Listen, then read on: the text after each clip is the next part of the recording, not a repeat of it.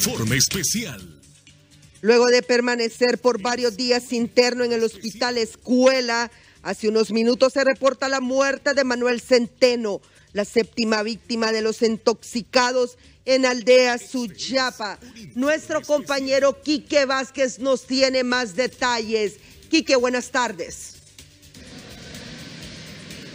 Muchas gracias, compañeros en estudio. Muy buenas tardes, televidentes y oyentes que se informan con nosotros. En efecto, mucha atención a esta información porque exactamente el pasado 8 de agosto fue cuando desafortunadamente seis personas murieron cuando trabajaban dentro de una cisterna.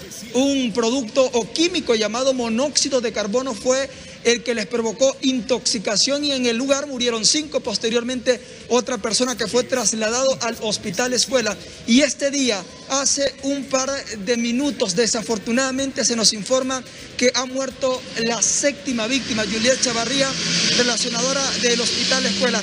Es aquí donde estaba recibiendo asistencia médica este joven, sin embargo, desafortunadamente ya murió. Muy buenas, Kiki, a todos en el estudio, al igual que a los televidentes, como usted lo menciona, eh, lamentablemente ha fallecido este joven, un joven de 20 años de edad, el cual ingresó el 8 de agosto a este centro hospitalario en compañía de otras dos personas, las cuales fallecieron en el instante o, unos días después, perdón, por la eh, complicación que ellos presentaban. Este joven que tenía por nombre José Manuel Centeno, él estuvo por 20 días hospitalizado en este centro asistencial y desafortunadamente ha perdido la vida por eh, el ingreso con un diagnóstico de intoxicación por químico Estamos hablando de eh, monóxido de carbono y él falleció a causa de una falla multiorgánica.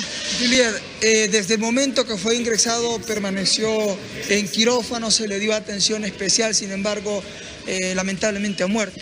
Sí, desde que él ingresó se le brindó toda la asistencia de manera necesaria y correspondiente con todos los insumos que él necesitaba, pues estaban a la espera los médicos que él reaccionara de una manera favorable, al cual estuvo en algunos días en las salas de emergencia, posteriormente fue trasladado a otras salas porque ya venía presentando una mejoría en su condición.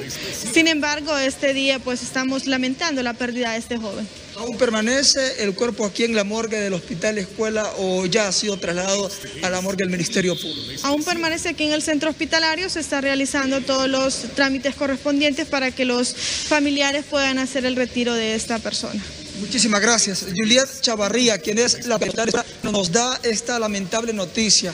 Manuelito, Así se le llamaba a este joven que desafortunadamente murió. Recordemos eh, de nuevo que fue el pasado 8 de agosto cuando se dio esta tragedia que en HCH transmitimos y desafortunadamente hoy se ha reportado la muerte de este joven que con él ya serían siete, siete las personas que murieron en esto que tiene con consternación a las personas de ese sector y por supuesto con mucho dolor y luto a los familiares y amigos. Junto a Luis Zelaya, que es quien me acompaña en cámaras desde acá, desde el hospital la Escuela, lo que podemos informar. Vuelvo con ustedes a estudios principales.